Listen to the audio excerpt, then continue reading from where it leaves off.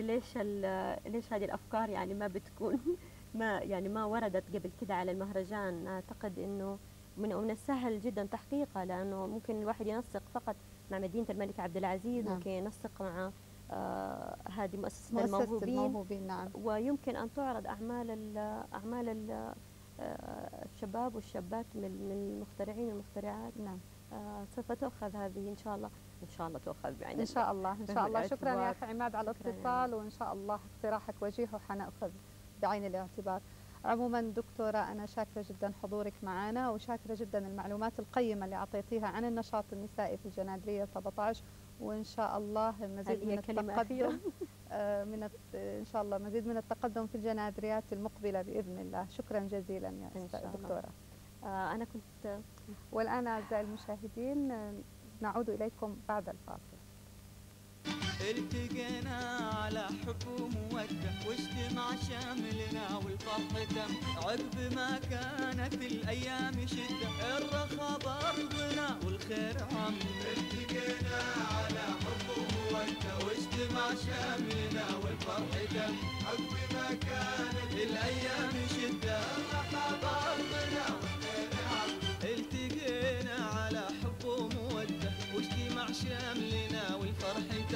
عقب ما كانت الأيام شدة. الرخا برضنا والخير عم التقينا على حب وموده واجتماع شملنا والفرح جل عقب ما كانت الأيام شدة. الرخا برضنا والخير عم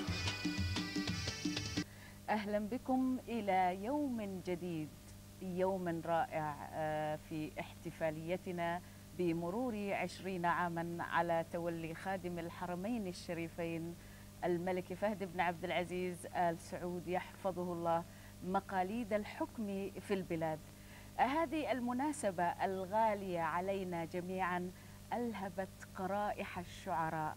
وطبعا الشعراء هم مرآة الشعوب وهم مرآة الأمة يعكسون مشاعر الشعوب بشكل وبعبارات موزونة ومقفى اخترت لكم أبياتا كتبها طبعا بعضها من قصيدة كتبها الشاعر المجيد طبعا كانت هذه أبياتا آه، صاغها شعرا الشاعر المجيد الأستاذ أحمد سالم باعطب آه، نتحدث اليوم عن الدين الإسلامي. كيف هو؟ دين محبة ورحمة وعطاء وبذل. والمجتمع السعودي مجتمع مسلم آه، يقدم المعونة ويقدم آه، للمحتاجين وللضعفاء وللفقراء كل ما يحتاجونه. وهذا الجانب بالذات نال نصيبا كبيرا من اهتمامات خادم الحرمين الشريفين الملك فهد بن عبد العزيز يحفظه الله.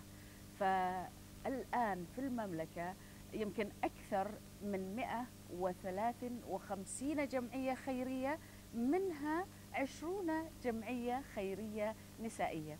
في هذا الموضوع سنتحدث مع ضيفتنا الدكتورة هاتون أجواد الفاسي وهي أستاذة في جامعة الملك سعود والكاتبة بصحيفة الوطن.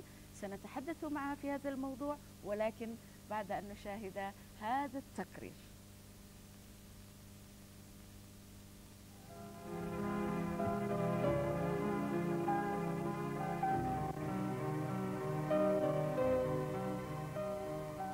جمعية الوفاء عشرون عام وأنت الإمام.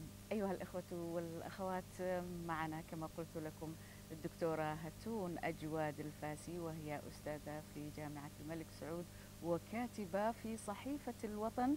نقول لك مرحبا بك دكتورة هتون مرحبا بك أه أهلا بك. دكتورة هتون أنت عضوة آه، في الجمعية السعودية الخيرية للتربية والتأهيل. آه، ليتك تحدثينا عن دور الجمعيات ومواقفها في خلال العشرين عاما. آه، الجمعية التي أنتمي أتشرف بعضويتها جمعية خاصة أو تهتم بالفئات الخاصة. وهذا يعني قطاع من الجمعيات الخيرية الذي أخذ ينتشر وتظهر مع ازدياد الحاجة إليه في الآونة الأخيرة أو في يعني في أقل من العشرين سنة الأخيرة خلينا نقول من الستة عشر سنة الأخيرة وهي في ازدياد مطرد وذلك تجاوبا مع الاحتياجات المتنامية في المجتمع ومن من ناحية الخاصة بهذه الفئة. ومن ناحية ثانية ازدياد الوعي بوجود فئة بحاجة إلى إلى معونة بحاجة إلى اهتمام ذو صفة خاصة. سواء كان تعليمي أو صحي أو خدمي فهذا أدى إلى إنشاء جمعيات تتولى هذه الناحية نعم. من بين يعني في بعض الجمعيات الخير الخيرية اللي خاصة بالفئات الخاصة منها ما هو يعني بشكل متكامل هو خاص بهذه الفئة أو أحيانا بيكون مجرد لجنة أو فرع من إحدى الجمعيات الخيرية زي جمعية النهضة أو جمعية الخيرية النسائية. جمعية نعم. النهضة الخيرية النسائية. مثلا فيها فرع خاص ب عندهم مثلا مدرسة خاصة بمتلازمة داون هذه الجمعية الخيرية للتربية السعودية للتربية والتأهيل خاصة أيضا بأطفال وبالفئة ذات اللي بتعاني من متلازمة داون وتهتم بتأهيلها وب وتدريب سواء الأهالي أو تدريب الأطفال نفسهم للاعتماد على النفس. نعم. أيضا الجمعيات الخيرية دكتورة هتون يعني تقدم المعونات للأسر المحتاجة وغير أنها تقدم المعونات أيضا يعني تحاول يعني في مثلا مقولة تقول يعني إذا أردت أن تنفع المحتاج يعني لا تعطيه كل يوم سمكة لكن علمه كيف يصطاد السمكة. فايضا هناك دورات تقيمها الجمعيات لأمثال هؤلاء مثلا من الفتيات اللواتي يريدن العمل. فلو تحدثنا عن هذه مثلا الوظائف التي تؤهلهن يعني للقيام بدورهن أيضا في المجتمع. أعتقد إنه انت تتحدثي عن عن نقطتين، في نقطة التعليم الجامعي خلينا نقول اللي آه الذي استحدث ليغطي آه الحاجة إلى تعليم هذه الفئة وهو نعم. وهو قسم التعليم الخاص الذي انشا في جامعة الملك سعود في نهاية آه نهاية التسع الثمانينات الميلادية. ميلادية نعم. أيوه وهذا القسم آه يعني لم ينشأ إلا بعد أن تنمت الحاجة إلى لتأسيسه وبالتالي أصبحت المراكز المختصة بتعليم وتدريب الفئات الخاصة يدار ويدرب من قبل طالبات ومن قبل الكوادر الوطنية سواء كانوا نساء أو رجال. فهذا أعتقد يعني جانب مهم على المستوى نعم. الأكاديمي وأيضا العلمي لأنهم بيطبقوا كثير في مراكز مختلفة. على على المستوى التدريبي الآخر لتدريب الأمهات. هذا هذا أعتقد الجانب اللي الجمعيات هذه أيضا بتقدمه كخدمة. خدمة طبعا من خدمة ليست طبعا تكرما وإنما خدمة كجزء من مهامها إنها بتقوم بتدريب الأمهات كيفية التعامل مع أبنائهم بناتهم. نعم. يعني من خلال تنظيم مثلا الندوات والمحاضرات أو ورش العمل نعم. بالتحديد أو أو الحضور اليومي إلى إلى هذه المراكز ومتابعة أبنائهم وبناتهم. نظرا لأنه هذه يعني حاجة ملحة انه أنت يعني إيش الغرض في في, في النهاية من من كل إنشاء كل هذه المراكز؟ هو هو تدريب الطفل والطفلة. من منذ يعني منذ الصغر ذوي الاحتياجات الخاصة سواء اللي عندهم مثلا قصور عقلي ولا ولا بدا ولا مشكلة مثلا تعوق بدني أو أو ما سواه إنه يعتادوا على الاعتماد على النفس. نعم. يعني التدريب يعني هي الغرض الأساسي هو التدريب على الاعتماد على النفس وعلى أن يصبحوا فاعلين في أعضاء فاعلين في المجتمع. نعم. وباعتبار إنهم هم جزء من مجتمعنا. هذا من جانب من جانب آخر يعني لازم لابد أن ندرك أن نسبة أو أو العدد هذه الفئة عدد كبير في مجتمعنا. وفي بشكل عام في المجتمع في المجتمعات العالمية على مستوى العالم يعدوا الفئات الخاصة نسبتهم يعني تقارب ما بين 10 إلى 15% من عدد السكان.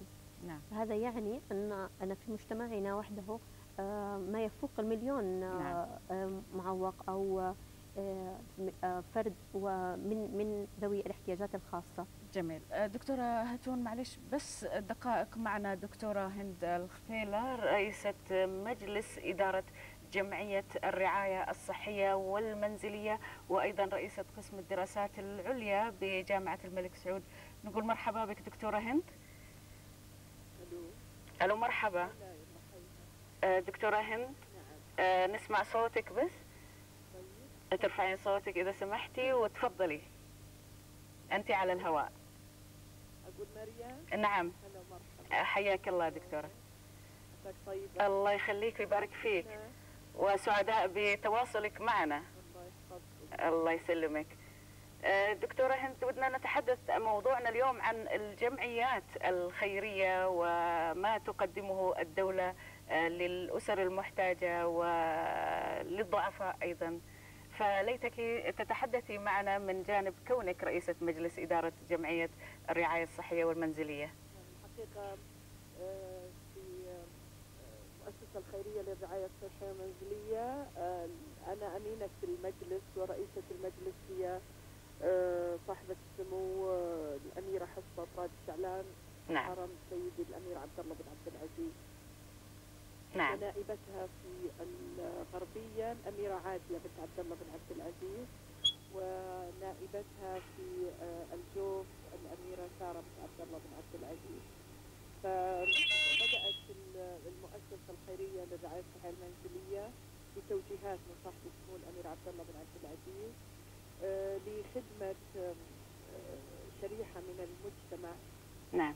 الحقيقة تكون إما لديها حالة مرضية مزمنة. دكتورة هند لو ترفعي لنا صوتك الله يسلمك.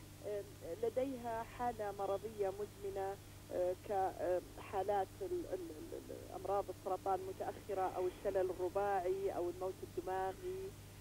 هذه الحالات عادة لما يصل المريض إلى هذه المرحلة المستشفى تعطيه خروج نعم. فالبيت لا يعرف أو لا يتقبل وجود في هذه الحالة المزمنة وفي هذه المرحلة المتأخرة لا, لا يعرف أن يتعامل معها مع المريض نعم. في هذه الحالة نعم. فيبدأ يشعر المريض أنه غير مرغوب فيه مم. سواء من المؤسسات الصحية أو من من الأسرة أسرة نفسها بعض يعني الأفراد غير مرغوب نعم. فيه كتعامل نعم. وليس كأحاسيس نعم.